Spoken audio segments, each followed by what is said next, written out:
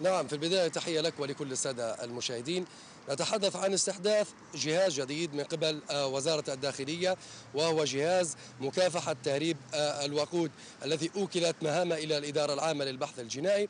هذا آه، الجهاز الذي استحدث هو يقوم الآن بتنظيم آلية توزيع الوقود على المحطات وأيضا إقامة للجان للتنسيق بينهم وبين المستودع الرئيسي وهي المخابز والمستشفيات العامة والخاصة وأيضا العيادات وأيضا المؤسسات الحكومية.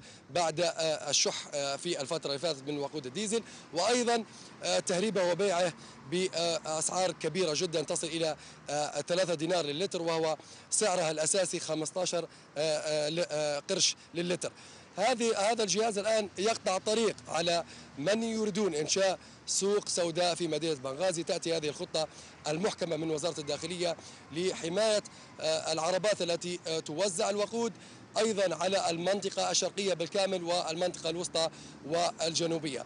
هذه لي أيضا آه، بضرب يد من حديد لتأمين مدينة بنغازي وأيضا بعد نجاحها وأيضا إسنادا من قبل القوات المسلحة لجميع الأجهزة الشرطية في مدينة بنغازي.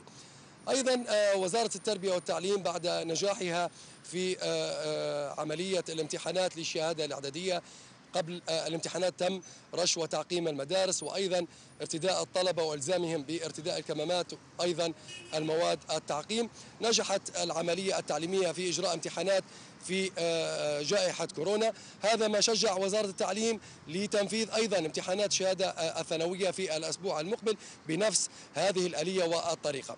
أيضا في مدينة بنغازي تشهد استكمال بعض المشاريع الخدمية سواء في صيانة الطرق داخل المدينة وأيضا الطرق الممتدة من آه، آه، طريق طرابلس إلى بوابة الجوارشة.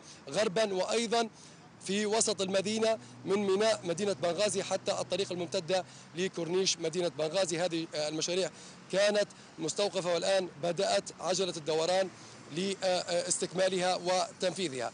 أيضا نبشر أهالي مدينة بنغازي بصيانة أحد معالم المدينة وهي جمعية الدعوة الإسلامية التي تضررت في حرب تحرير مدينة بنغازي من قبل تنظيم داعش. الآن يتم استكمالها وصيانتها ومن المقرر استلام المبنى خلال ثلاثة أشهر.